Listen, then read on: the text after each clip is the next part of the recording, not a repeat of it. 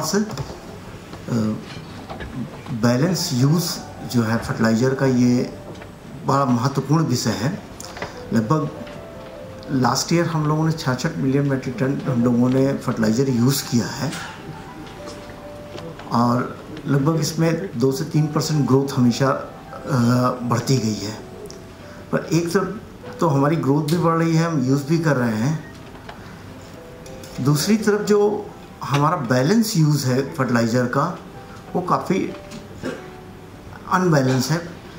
बिल्कुल आपने सही वर्ड यूज़ किया है कि 30 परसेंट यूरिया जो है हमारे क्रॉप को मिलती है। 70 परसेंट यूरिया जो है हमारी वो बेस्टेज के रूप में जाती है। उस बेस्टेज के रूप में जाने के कारणवश हमारे इन्वायरमेंट पे असर पड़ता है सॉइल पे असर पड़ता है। जो एक महत्वपूर्ण सबसे बड़ा कारण है किसान के लिए। जो खेती है, वो सबसे महत्वपूर्ण भाग है हमारे कंट्री में। लगभग सीधे तौर से 48 से 50 परसेंट आबादी हमारी कृषि पर आधारित है। कुछ आदर्श रूप से भी कृषि में कार्य लगे हुए हैं। परंतु अगर देखा जाए तो जीडीपी में जो हमारा पार्ट है एग्रीकल्चर का केवल 15 परसेंट है। इस वजह से अगर देखें तो हम जो किसान भाइयों की जो हमारे दामोदर साहब ने भी कही जो आ, हमारे ये संजीव जी ने भी अपने प्रेजेंटेशन में भी काफ़ी इंगित किया कि जो किसान की जो आर्थिक स्थिति है वो जहाँ होना चाहिए वहाँ नहीं पहुँच पाई अभी तक। थैंक यू परमेश्वर, कई बार होस्ट होने का ना ये नुकसान होता है कि आप लास्ट में होते हैं, लेकिन लास्ट में होने का एक फ़ायदा भी है। अभी टाइम लिमिट पे आप घंटी नहीं बजा पाओगे मेरे को। ये अभी तो मेरा ही स्टेज है। तो मज़ेदार काम ये है कि इस मंच पे शायद मैं इकलौता आदमी ऐसा हूँ, जिसने एग्री इनपुट के हर सेक्टर में काम किया है। अपना कैरियर शुरू किया क्रॉप प्रोटेक्शन से पेस्टिसाइड से फिर बल्क फर्टिलाइजर्स में आ गया। उसके बाद से सीड्स में आ गया, फिर क्रॉप प्रोटेक्शन में चला गया, फिर स्पेशलिटी फर्टिलाइजर्स में आ गया और उसके बाद से वाटर सेक्टर में आ गया। तो मुझे जितना इस चैनल से सीखने को मिला है ना, मेरा जितना भी ज्ञान है, वो आप लोगों के साथ इंटर इंटरेक्ट कर करके हुआ है। और काफ़ी कुछ सीखा मैंने आप लोगों के साथ काम करके।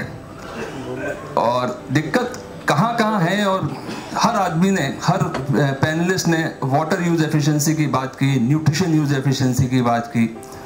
काफ़ी लोगों ने अलग अलग प्लेटफॉर्म्स की बात की एआई की बात की मशीन लर्निंग की बात की। मैं अपने आप को फोकस रखूँगा वाटर यूज़ एफिशिएंसी के ऊपर।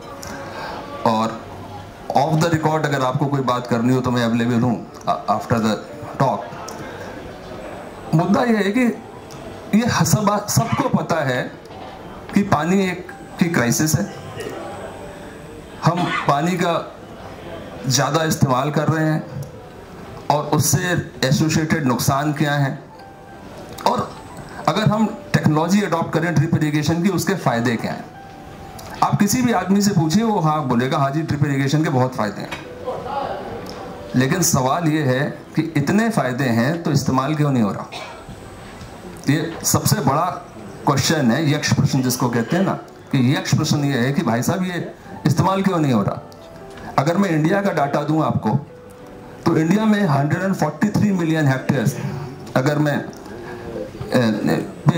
खेती होती है 143 मिलियन हेक्टेयर्स में से करीब 70 मिलियन हेक्टेयर इकहत्तर मिलियन हेक्टेयर ऐसा है जो कि इरिगेटेड एरिया है।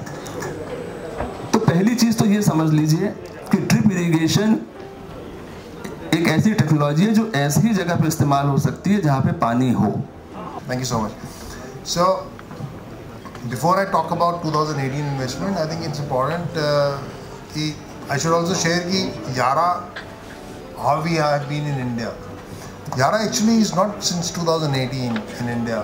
हम यहाँ पे लगभग 1985 से Initially Yara was we were Hydro and uh, हमारा काम we would sell uh, commodities like DAP, urea and ammonia as CFR into India. And in 1991, then great liberalization happened, 32 years back.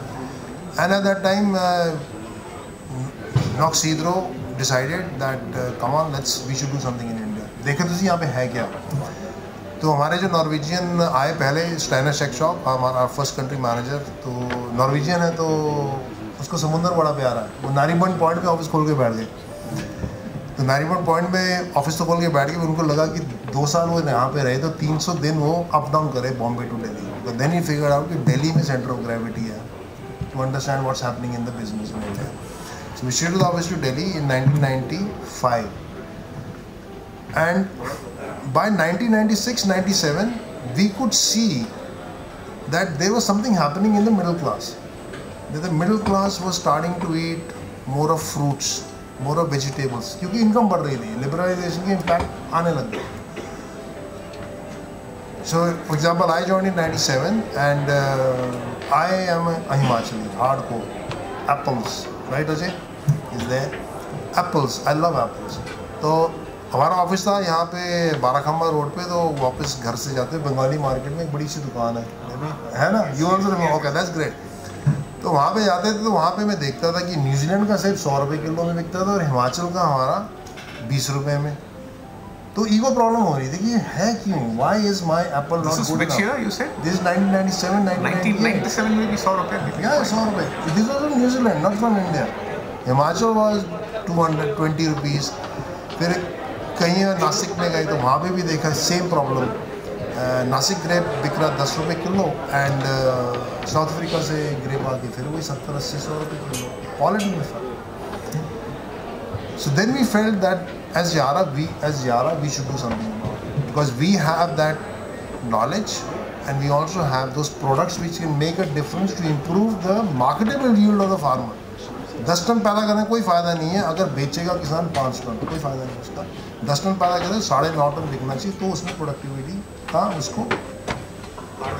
Harvested productivity saleable marketable yield बननी चाहिए।